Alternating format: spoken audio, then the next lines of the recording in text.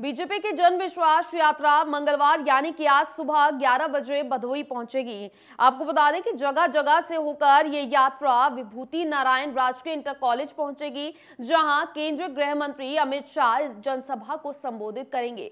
Protocol के अनुसार गृह मंत्री दोपहर बाद तीन बजकर पैंतालीस मिनट पर पहुँचेंगे।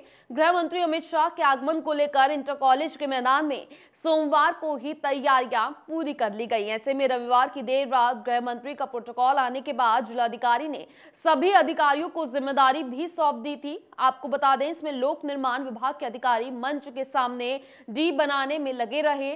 खान पान की व्यवस्था के लिए पूर्ति और विपणन अधिकारी स्वास्थ्य की ज़िम्मेदारी सीएमओ को दी गई है।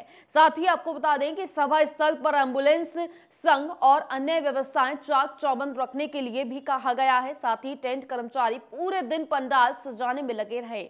जीआईसी मैदान में पूर्वी छोर पर भीड़ को निकालने के लिए बाउंड्री वॉल को तोड़ दिया गया और ऐसे में दोपहर बाद जिलाधिकारी आर के अखोरी और पुलिस अधीक्षक डॉक्टर अनिल कुमार ने पुलिस लाइन स्थित हेलीपैड स्थल और जनसभा स्थल का निरीक्षण भी किया। साथ ही आपको बता दें कि एसपी ने बताया है कि गृह मंत्री की सुरक्षा के लिए कई टीमें लगा दी गई हैं। सभा स्थल की ड्रोन कैमरे से निगरानी की जाएगी। इसके अलावा 500 से ज़्यादा कांस्टेबल, सिपाही और कई थाना प्रभारी और सीओ की ड्यूटी भी लगाई गई है। तो यानी कि आज भदोई में अमित शाह हंकार भरने वाले हैं। आपको बता दें कि बीजेपी की तरफ़ से कई जिलों में जन आशीर्वाद यात्रा निकाली जा रही है और इसी कड़ी में ये जन विश्वास यात्रा आज भदोई पहुंचेगी, जहाँ पर गृह मंत्री अमित शाह जनसभा को भी संबोधित करेंगे।